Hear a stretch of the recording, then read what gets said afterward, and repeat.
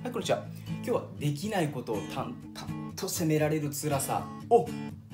克服してそして自分自身が得意なポジションで一生懸命頑張りましょう。そういうお話をしていきます。皆さんやっぱりこう仕事をやってたりとかあるいは部活動とかそれからま勉強とかで自分ができないっていうことを分かってるのにそれを周りから言われることってめちゃめちゃなんかこうムカついたりとかあるいは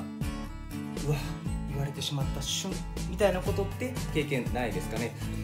人っていうのはやっぱり承認欲求っていうのがあるので実は褒められたいっていうもの自己承認っていうのは承認欲求っていうのは人から褒められたいとか認められたいとかっていうそもそもの欲求マズローの五大欲求とかあるじゃないですか。っていうだけじゃなくて自分が自分に対してこう有能だとかあできるんだとかっていう風に自分の期待値っていうのもあるんですよ。でプラスしてその自分の、え、期待値っていうものがどれくらい社会とかあるいは自分の身の回りの人たちとかにこう貢献できるか提供ができるかっていうところに対してやっぱり思いっていうものが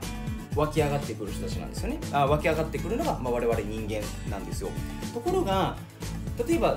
勉強ができなかったりとか仕事でミスが続いたりとかでそのことをこう責められたりとかっていうのをしていくとこう自分は無能だとかですねあるいはこう自分の持っている価値を提供することもできないんだっていう風になってしまってメンタルへのダメージっていうのが半端なくなってしまうんですよ。だからここに例えば職を失うとか、えー、学業で成績が低下して順位がどんどん下がっていくみたいなことが重なっていくとこう普通に勉強がこうできていてある一定の順位を保てている人とか仕事がある人と比べると統計を取っていくと5倍以上の幸福度の差が出てくるっていうまあ結果も出たりしてるんですね。で基本的に人ってできるものに関してはより伸びていくんですよ。ところができないことに関してはそれをどれだけ時間かけてもできるようになることっていうのはまあないですしできることをよりできるレベルに上げていくのと較する時に時間が恐ろしいぐらい変わってくるんですよね。かかる時間っていうのが。だから例えば絵が描けない人に絵を無理やり描かせようとか運動音痴の人に無理やり運動させようとかってやっても絵が上手くなることはないし運動ができるようになることなんていうのは確率としては相当低いわけなんですよ。だからできない人っていうのはそこを責められる辛さっていうのは確かに残るかもしれないんですけど別にそのできないことに固執する必要なんてのは一切ないんですよね。リベラルアーツ大学の両学長って何しかも一昨日くらいかに結婚されましてねあのおめでとうございます。結婚されたリベがリベ大の学長なんかもやっぱり能力と評価っていうのはま必ずしも一致するわけではないので例えば学校とかあるいは職場とかでこんなこともできないのなんていうことを言ってくるですね。マウントを取ってくるような人っていうのは自分がその土俵に立ってるからそれが言えるわけなんですよ。ところがあなた自身が得意な分野に立ってしまえばその人は今度逆転するわけなんですよ。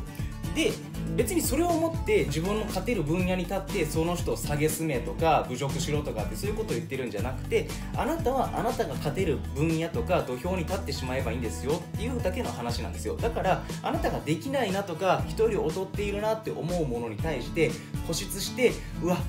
俺できないなとか私これ苦手だからあの人よりもダメなんだとかっていうふうに思う必要っていうのは一切なくてあなたはあなたの得意分野できちっと立つことができれば、え、問題ないですよと。かあなたができることに対して自由を目指してやっていけばいいって言ったらそれだけの話ですだからできないことを責められるっていうのは確かに辛いかもしれないんですけど果たしてそれができるようになることがあなたにとっていいことなんですかってことを問いただした時にあ別にこれできないままでもいいなだって私これができるもんっていうものがあればそれでいいんですよ。はい。で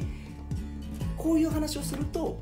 時々中にはじゃあ私の得意って一体何だろう？うんってなってしまう方もあのいるケースは当然ありますんでそういう得意は何だろうとかあるいは好きは何だろうと私のの立てる土俵は何だろうと飛び込みたい分野は何だろうっていうことを探したいなっていう方はですね是非、えー、私のコーチングっていうものを、えー、受けていただけたらいいではないかなというふうに思います。そういうのはあの得意なんでかなりその人の得意とかできるっていう分野を見つけるとかあるいはそれを伸ばしていくっていうのがま非常に得意ですから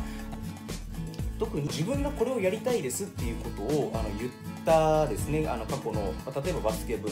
の教え子とかなんかっていうのはやっぱりじゃあこうこうこうやっていこうかとかこれを伸ばしていくためにあなたならどうやりたいっていうことをですね繰り返し繰り返しやっていったことで結果ですね自分が望むプレイヤーになっていったりとかチーム全体が望むチームになっていったりっていうのをやっぱり実績もあります。のでそこは信頼してですねぜひ、えー、コーチング興味ある方に受けていただけたらなというふうに思います。ということで、えー、今日はですねあのあなた自身ができないということを責められる辛さっていうのは確かにあるかもしれない。でもその辛さをは正直どうでもいいんですよ。どうでもよくってそれはただそれを言ってくる人が自分が勝てるマウントポジションだからそれは言えてるだけであなたが本来立つべき土俵に立ったらその人も一切関係なくなってきますんでそのポジションを見つけてそこで活躍しましょうっていうそういうお話でした。そしてその活躍できるポジションが一体どこかなっていうのを探したいっていう方に関してはわからないなどこかな見つけたいなっていう方に関してはぜひ声をかけていただいてコーチングっていうのを受けていただけたらというふうに思います。ということで本日の動画は以上となります。最後までご視聴ありがとうございました。お疲れ様でした。さ